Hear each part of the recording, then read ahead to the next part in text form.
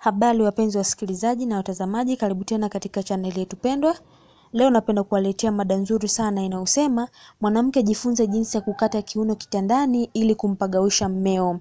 Jamani, mwanamke mwenzangu, sio vizuri kipindi cha tendo la ndoa na mmeo ukafika kitandani ukalala kama gogo na ukamwachia mmeo afanye kila kitu kwa ajili yenu. Hivyo basi, ni vizuri ukajifunza jinsi gani ya kukata kiuno kitandani ili kuweza kumpagawisha mmeo akapata raha na wewe pia ukapata raha. Na pia kuna faida mbalimbali za kukata kiuno kitandani kama vile mmeo atakuwa na hamu ya kukutana na wewe mara kwa mara kwa ajili ya tendo la ndoa. Na nyingine pia mmeo hataweza kukusahau katika akili yake kutokana na hayo maunofeni utakaokuwa unampa. Okay, kuna mazoezi mbalimbali ya kufanya ili kuweza kujifunza jinsi gani ya kukata kiuno kitandani. Zoezi la kwanza, kwaweza anza hivi. Chuchumaa chumbani kwako au sehemu yote ile ya faragha. Kisha shika kiti au ukuta au kitanda. Baada ya hapo anza kuzungusha kiuno chako kwa kuchora sifuri kuanzia mara ishirini mpaka mara mia. Baada ya hapo pumzika kwa muda.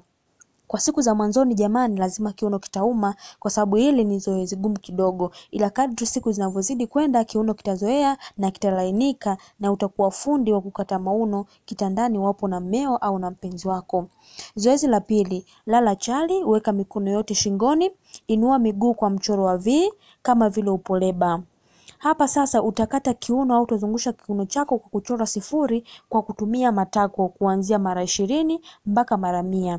Zoezi hili nalo utalifanya kwa siku kadhaa hadi uweze na kiuno kilainike, ili uweze kuwa hodari wa kukata maunofeni kitandani, uwapo na mmeo na ukampagawisha na ukampa raha zote na maugwadugwadu yote, na wewe pia ukapata raha. Na pia jamani, mmeo lazima ataonyesha ushirikiano mkubwa kipindi cha tendo la ndoa kutokana na mambo utakayokuwa unamfanyia haya ya kukata maunofeni kitandani. Zoezi la tatu, zoezi lingine la kufanya ni la chuma mboga. Hili jamani ni zoezi rahisi sana. Hapa pia utakata kiuno au utazungusha kiuno chako kwa kuchora sifuri kwa kutumia matako kuanzia mara ishirini mpaka mara mia. Ukiweza, na huu ndo mwanzo wa kujifunza. Fanya hivi kila siku, utaona raha na faida zake.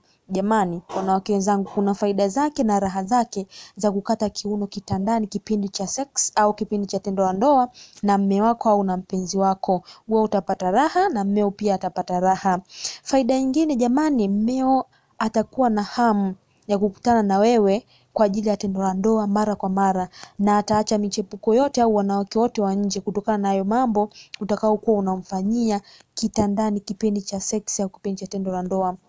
Okay, kumbuka mazoezi hayo matatu waweza anza moja baada ya jingine kwa siku za mwanzoni, ila ukizoea na kiuno kikilainika waweza kufanya yote kwa pamoja kila siku. Baada ya hapo, anza kujiangalia kioo kwenye kioo ili ujione jinsi gani mtoto ulivyoiva vizuri. Baada ya hapo sasa, waweza kuenda kuanza kitandani ukimuonyesha mmeo utundu wako wote wa ukataji wa maunofeni kitandani uliojifunza. Natumaini mmeo ataenjoy sana na atapata raha na wewe pia utapata raha, na mmeo ataonyesha ushirikiano mkubwa sana kipindi cha tendo la ndoa, kwa sababu ya hayo maunofeni utakaokuwa unampa na maugwadugwadu wote na utamu wote, na hata tamani kutoka nje.